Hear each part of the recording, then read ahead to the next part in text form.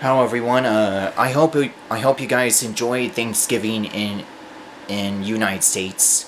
Uh, last month, Canada celebrates Thanksgiving in October, and um, I want to tell you tell you guys something. Um, have you ever heard of Fred Rogers, the real Fred Rogers? Well, I knew him since I was a kid. I watched his series for the first time when I was a kid, and um,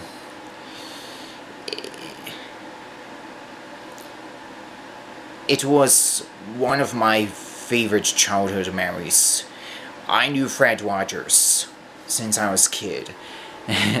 I just watch his series all the time, and um, I really enjoyed them. And um, he uh, he made his puppets. And there was an opening, the puppets, um, um, everything in the series. Um, yeah. well, um, if you guys seen seen the movie called uh, A Beautiful Day in the Neighborhood, it's based on a true story, and um yeah. So um, also I'm not gonna bring any more spoilers, okay? It's based on a true story.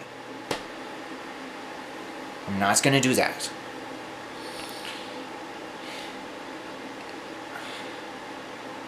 It seems sad seems sad that I didn't realize that the real Fred Rogers died in February 27, 2003 um, in Pittsburgh. And, um, yeah. We all know that Fred Rogers has his family. And, um, yeah. Watching his series all the time brings me my childhood memories. Um, when I first watched the movie, in the beginning, um, I remember the opening of Fred Rogers series, and um, yeah. I, I'll never forget that. Mm, well, my parents knew him more than I do, and um, yeah. I'm sure some of you guys knew Fred Rogers too. And, um, yeah. Also, um, yes. And, um, I know you guys are worried about me for the way how I, I've been suffering and emotional because I, uh, you guys knew, uh, about my old friend Felicia. Some of you guys have been wondering what Felicia looks like.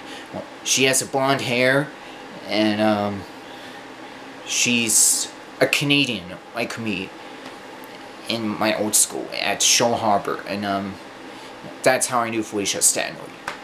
It's because the show helped me remember her name.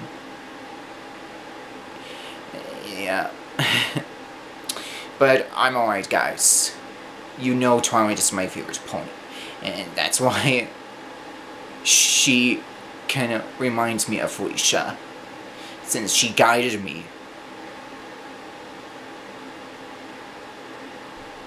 And every night I still have emotional when the show is over.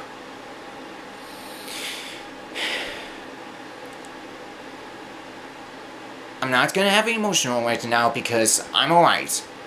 I'm alright. So, uh, that's my thoughts and theories of a beautiful day in, in the neighborhood, so subscribe, give the like, and leave the comments.